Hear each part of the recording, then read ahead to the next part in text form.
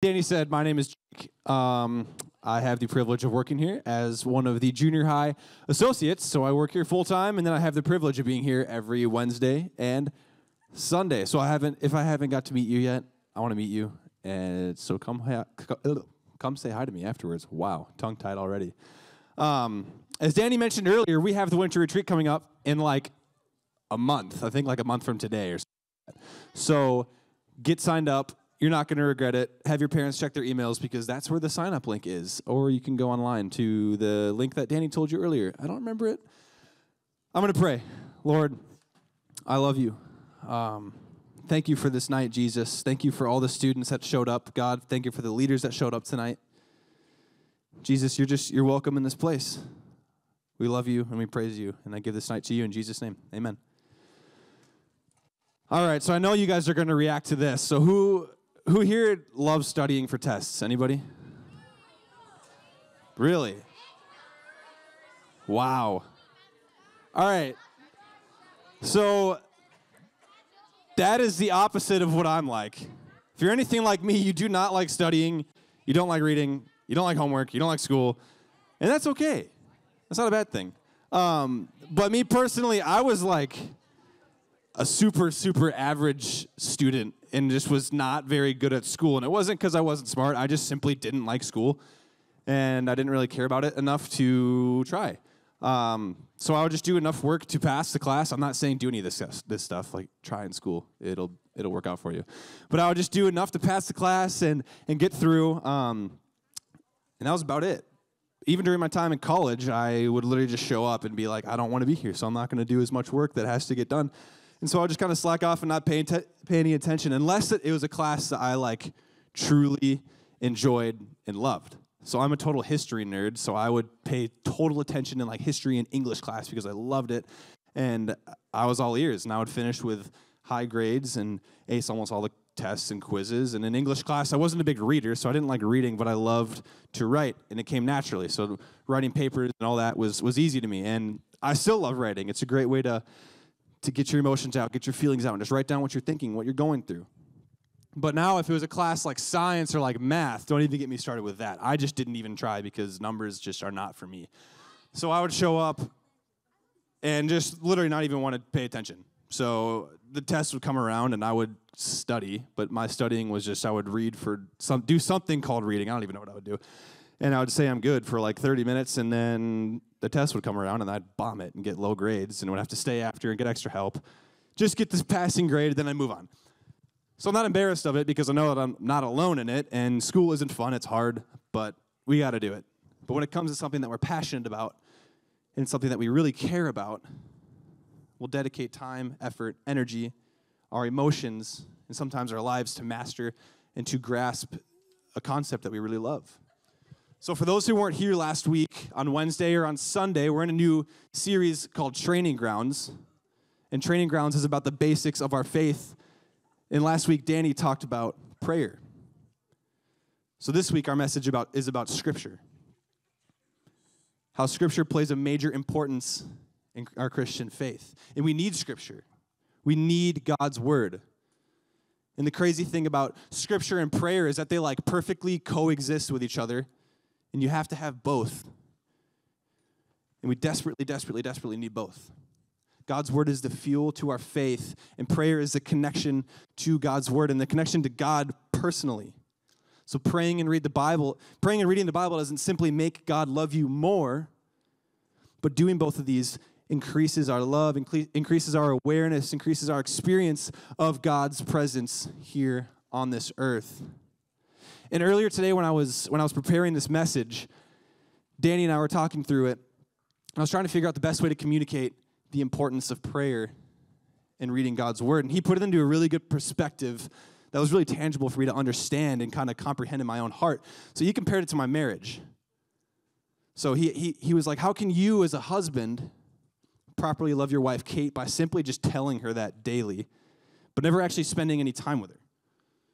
In that, in order in order for me to properly love her, I need to spend quality time with her. I need to, I need to listen to her. I need to be intentional with when I talk to her. And when she does talk to me, I have to listen and I have to really pay attention to make sure that we're on the same wavelength and that I have to connect with her actually in person. if there's no action behind your love, then there is no real love. You cannot love Jesus wholeheartedly if all you do is just talk about things, but never actually internalize them.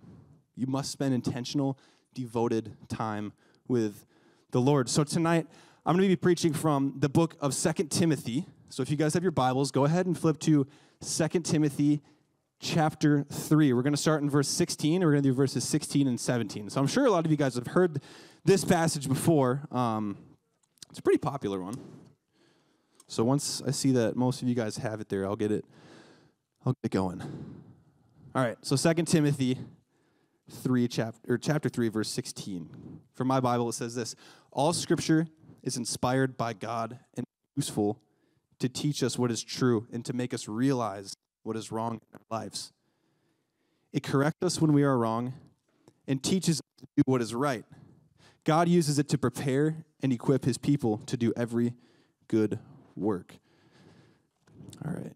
So, now I could just read that passage and call it a night because those two verses give pretty much all the answers as to why Scripture is important. And first, right off the bat, in the very opening sentence of verse 16, it says that it is inspired by God. Everything that is written in the Bible is inspired and was written by the authors through personal encounters, through personal stories and accounts with through the Spirit of God and personally one on one with Jesus. It is all inspired by Him. We see in John chapter 1, verse 1, the Apostle Paul writes, In the beginning was the Word, and the Word was with God, and the Word was God. So, literally, from the beginning of time, our scriptures have been based around the person of Jesus. Now, the, the Bible is God's word to us. It is God's word from heaven taken and put onto paper for us to read and for us to, to devote ourselves to. It's a guide for our lives. It tells us how to live, how to follow Jesus, and it reveals our, our deep, deep inward character. It shows us who we really are but most importantly, it reveals our brokenness and it ultimately reveals that we are all in desperate, desperate need for a Savior. And it's not just a book of, of rules and regulations, and sure, there are quite a bit of things in there that, that we definitely like must follow, but this book is more than that. It's a love letter from God to his people. It's a story from the beginning of creation until the end of time about a Savior that is coming to set his people free. It took over 1,500 years to write. It was written by around 35 to 40 different authors. It contains 66 books that all write about one common theme, and it's Jesus. Now, in the Old Testament, we see that there's like a lot of there's a lot of prophecies. There's a lot of spoken things about this coming Messiah, the Savior that everyone's awaiting. And then finally, when the New Testament happens, He's here. It's Jesus. The Savior arrives in the first four books of the New Testament are called the Gospels, the Gospels of Jesus Christ Matthew, Mark, Luke, and John. And they're all the firsthand encounters of Jesus' life, his ministry, his death, and his resurrection. They're what our faith is, is based around. The rest of the New Te- Testament is a, is a compilation of books that were written to the churches in the time, mostly written by the Apostle Paul, and these books address flaws in the churches and they give the guidelines of how churches are supposed to be operated and supposed to be ran according to God's command. And the book of Revelation is the final book of the Bible, and it's a book about the end times. The time that Jesus makes his triumphant return, saving all of his followers and putting an end to Satan and all of the evil in this world. The Bible is literally all about Jesus saving his people, and he is the one central theme from the beginning to the end. Something that I want all of you guys to know tonight is that simply knowing Scripture is not going to save you. Simply knowing Scripture does not guarantee your salvation. You can read it, you can go to Bible studies, you can go to Sunday schools, you can come here on Wednesday nights, you can go to church on Sunday mornings. But just doing that doesn't save you. You might even be able to quote a lot of verses and say you know a lot about the Bible. It's almost like what I talked about earlier in school. You think that you know the material that you learned, you can talk about it, you can tell your parents, yeah, I learned this, this, and this. But unless you internalize it and believe it and memorize it, when the test rolls around, you will not see success. So if you in the same way if you if, if all you do is listen, you don't internalize, you will not experience the true freedom that God has for you. The truths in this book will determine the outcome of your life. This book and the words in this book are just not man made words, they're literally words directly from God to us. So, what can we do with Scripture? Now that you guys have a simple understanding of what the Bible is and what the Bible entails, what can you do with it? A passage of mine that is, uh, that is a personal favorite comes from Matthew 4. And if you're not familiar with this story, um, it's, it's the time between when Jesus got baptized and when Jesus started his ministry. And he literally went out in the desert for 40 days and for 40 nights to be tempted by the devil. Like that's as straight up as it gets. In scripture, it literally says Jesus went to the desert to be tempted by the devil. Nobody in their right mind does that. No one would just like waltz out and be like, I'm gonna go take the devil one on one and see how I see how I stand by the end of it. And that alone proves his holiness and his power. And the whole time that Jesus is there, the devil continues to attack his identity. And at one point, the devil even tempts Jesus to bow down and worship him. But he never gives in. He stands his ground. And the whole time, if you read that story, he combats everything that the, that the devil throws at him with God's word. He combats everything with scripture. And he humbles him and he stops him dead in his tracks and he says, Get away from me, Satan. This is something that all of you guys can do with knowledge of the word. When you truly internalize and believe God's word to be true, you can use it to combat the enemy's attacks. God's, words, God's word holds truth and power over the enemy. But in order to internalize it, you have to believe it.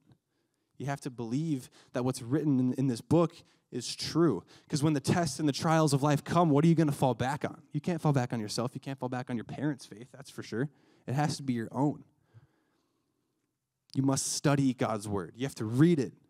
You have to read into it. You have to meditate on it. You have to figure out what God is saying. And then once He tells you, what, once you think that you know what He's saying, figure out what He means by that. Figure out, okay, why, why, is, why is He telling me this? Understanding the, me- understand the meanings behind scriptures and apply it to your day to day life. Use it every day. We cannot just listen to what God's word says, we must do what God's word says. In James chapter 1 verse 22 it says this, but don't just listen to God's word, you must do what it says. Otherwise you're only fooling yourselves. Read it and do it. Doing it is obedience, and God calls us to be obedient to his command. Ignoring God's word is blatantly rejecting God himself. I want you to hear that. Ignoring what God's word says is blatantly rejecting him.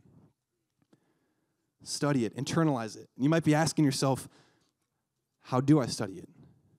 What do I do now? Now that I know that I need to do all this stuff, how do I do it? So there is this thing that I learned in high school. Um, it's, a, it's a simple acronym that makes studying the Bible so easy. And it honestly makes it kind of, it's more fun because I understand what I'm doing when I'm reading it and I can actually comprehend sometimes what's going on because the Bible is not always easy to understand. Um, the acronym is SOAP, S O A P, SOAP. And It stands for Scripture, Observation, Application, and Prayer. Drew point there for a second. So, Scripture, the S. What Scripture are you reading? Find that out and begin it. Begin to read it. Something that is also really helpful is to, is to start small. You don't, don't feel like you have to start in the very beginning in Genesis. Don't pick some really confusing book uh, that you've never heard of. Start in like a book like Matthew or a book like James or Philippians, something small. You don't have to read a whole thing all the way through. Just read a few verses. And then when you're done with that, read it again. Next is observation. What is going on in this passage? What, what is the author saying? What is God saying to me? What is this revealing in my heart and in my life? And what questions do I have? It's okay to have questions. Literally, Danny and I can sit down and read the Bible, and, and we'll still be super confused with sometimes what it's saying. Like, not everybody understands fully what the Bible is saying. Some people interpret it differently depending on what they may be going through. And next, A, the application. How does this apply to my life? How can I incorporate this into my day to day life? How does God's word shape my heart? How does it shape my feelings? How does, how does it shape my actions? And the last one, the P, the prayer. Pray the scripture that you're reading. Pray the words, use the language that is in the text. Thank God for his word. Thank God that his word has power and that, and that his word sets us free. There's another acronym called the WAR acronym. It's worship, admit, and request. Worship him for his word. Admit that you're in need of a savior and ask him to help you. So I'm going to practice this with you guys briefly. Um, so if you have your Bible, go ahead, flip to Psalm 91. Psalm is really long, so there's a lot of different chapters. So go ahead and open to Psalms 91. I'm just going to do verses 1 and 2. This is a personal favorite passage of mine, and it's been one of my personal favorites since I was a little kid. Um, it, it was one that I used to have really bad night terrors, and my dad would read it to me when I'd wake up scared in the middle of the night. And it's, it's one that I memorized that I would use in times of trouble, in times of darkness, when I was afraid. And it just brought so much peace and comfort to my life. So, Psalm 91, verse 1 and 2 is this Those who live in the shelter of the Most High will find rest in the shadow of the Almighty. This I declare about the Lord He alone is my refuge, my place of safety. He is my God, and I trust in Him. So now that we've read this, that, that's the first step. That's the S. So now we're going to move on. We're going to observe. So some things that I see from this passage is, is what the author is saying, and he wrote to show the significance of the presence of God. Living in his shelter, finding rest in him when we need it the most, in times of trial, in times of fear, in times of doubt, when we feel like there's nothing else for us in life and we're utterly terrified of the things around us, he is that place of refuge, He's that place of comfort. So, application how can I apply this to my life? For me, in times of doubt and fear, I know that He is my rock and my safety. So, when I face those trials, when I face those struggles, when I feel like I'm all alone, I know that He will be there for me and I can use that. And last, I'm going to pray through it. You just literally take the words that it says in the scripture and just pray them. So, dear Jesus, you say that, that those who live in your shelter will be kept safe, safe by the shadow of the Almighty. Thank you that I can say that you alone are my refuge. Thank you that you alone are my place of safety. Lord Jesus, you are my God, and I trust in you. So now another, another thing that you guys can do when you go through all four of those steps is literally go back and do it again. Continue to ask God to reveal to you new truths in new passages or in the same one. You can pick a new one, you can stay in the same one. So that's it. That's what SOAP is. That's an easy way for you guys to study the Bible and study Scripture. So, now what we're going to do, if you guys were here last week, uh, Danny talked about the significance of prayer and, and how uh, there's some t- new tangible ways that you can pray by yourself and with people. So, what we're going to do is we're going to break out into small groups again. In the back, there's some Bibles, there's some sheets you guys can follow with a, an outline of, of a study. Um, and we're just going to do that. Go with either the small groups that you're on that you're in on a Sunday morning. Uh, go with your friends if you haven't been here before. Just tag along in their group. But I want you guys to really sit down and do this together.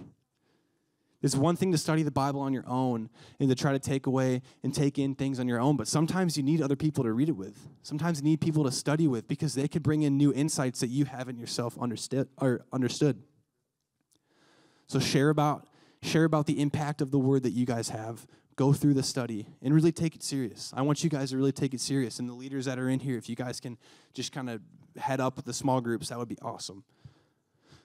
So I'm going to pray, um, and then I'm just going to bless this time that you guys have. And I kept it short tonight so that you guys can actually take, take your time on this and really go through it. So, Lord, thank you for this awesome night, Jesus. Thank you for another successful Wednesday, Lord. And I pray for all of the amazing students here, Jesus, as they just go about navigating life and navigating growing up, Lord, that they can know that they're loved, that they're cherished, that they have that they have purpose, Jesus. And I pray that that your word will be revealed to them when they read it, Jesus, and that you'll reveal your your glory and your majesty. So I love you, Lord, and I pray all this in your name. Amen. So